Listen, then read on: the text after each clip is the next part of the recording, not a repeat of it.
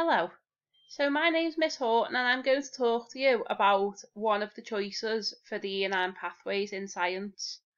So most students will follow this pathway here, AQA GCSE Combined Science, and at the end of this course will be awarded two GCSEs in science. If you are interested in studying separate sciences, there will be a separate video for you to watch.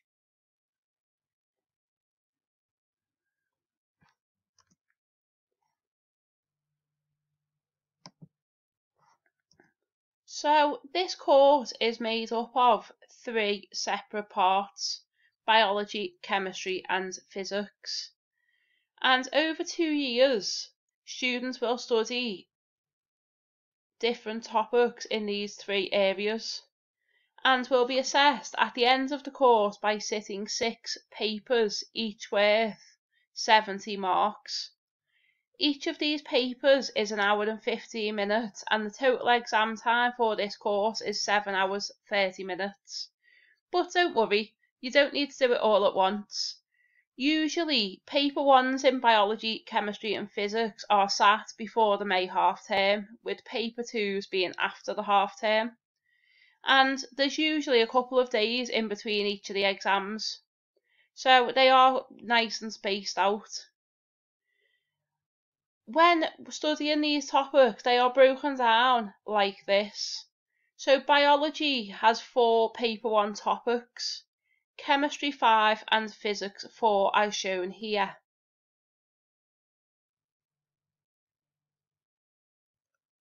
Paper two is outlined in a similar way. So there are three biology topics in paper two, five chemistry topics and three physics topics. There does seem a lot more chemistry, but the topics are slightly shorter than those in biology and physics.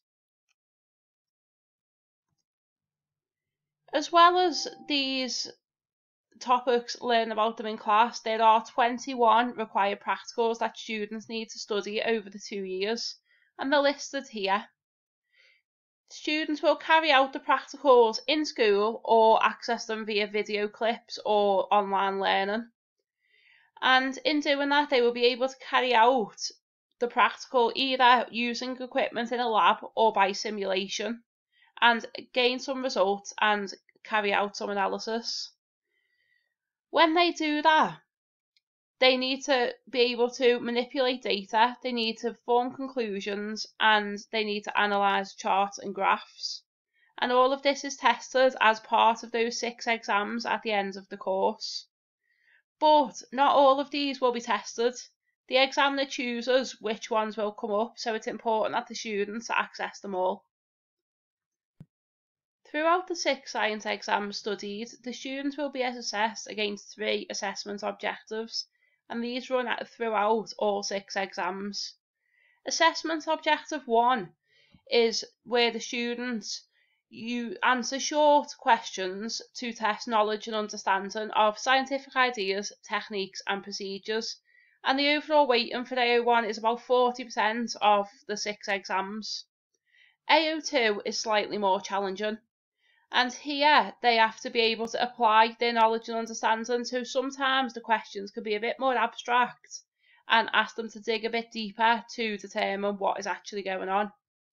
And finally, AO3 is the most challenging, and this is where the students will get the most marks. Because these questions ask to be able to interpret and evaluate, to make judgments and draw conclusions from evidence.